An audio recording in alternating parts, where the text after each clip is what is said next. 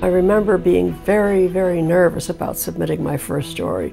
I'd heard all kinds of horrible tales, like if the publisher really likes it, he'll uh, publish it himself and get the credit for it. All kinds of horror stories.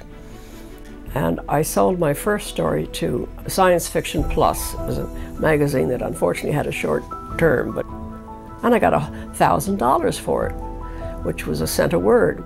But uh, it was printed with my name on it. And that was just after my son Alec was born. And that was great stuff. I was lucky enough to get in on the original Damon Knight and Kate Wilhelm science fiction workshops. Damon thought we would get more money for our stories if we improved the product. So we were busy trying to figure out ways to improve our writing style and our subject matter. And the weekend was very intense, but you got a chance to uh, listen to what other people were writing and how they would defend their work against criticism. And I learned more actually from listening to all the other stories than I did from my own. I came out of a workshop situation and became a better writer.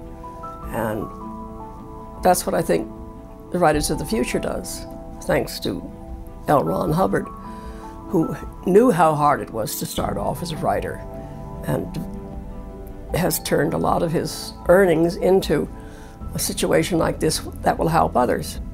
They're given background information and encouragement, as well as practical interviews with publishers and editors and agents. I think the best thing that Writers of the Future teaches its contestants is the discipline of writing, which ain't easy. I mean, a lot of people could write a novel, but they don't have the discipline to sit down and do it. And that's always been my point to make to young people. It's a lot of work. It's very well worth it when you get a check in the mail or you see your name in print. But you have to sit down and get it done. And I used to work a 10 hour day, seven days a week. I'm a little slower now, but I am 80.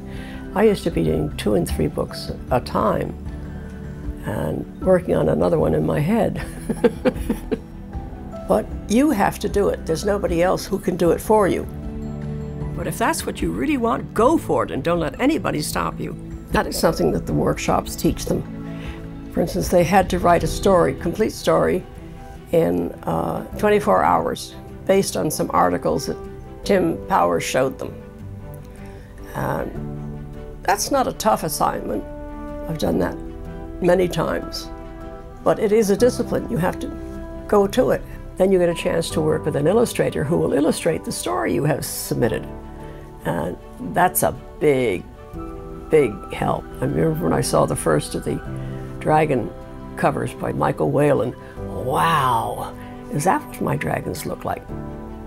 The impact of Michael Whelan's covers made all the difference in the world, particularly with White Dragon. And I noticed in the cover for All the Weyrs of Pern, which is 14 years after the White Dragons, there is an obvious maturity in the faces of both the dragon and the rider. And I oh boy, he's cooking with gas. and one time he called me up and he says, what's, what do you want on the cover of Renegades of Pern? And I said, well, I haven't written it yet. But I said it's going to be about the traveling folk. So big caravans with heavy set beasts to pull it and had the winding down the road. And he did. And the only thing I didn't get into the story was a little critter he had that was a, obviously a ground rodent.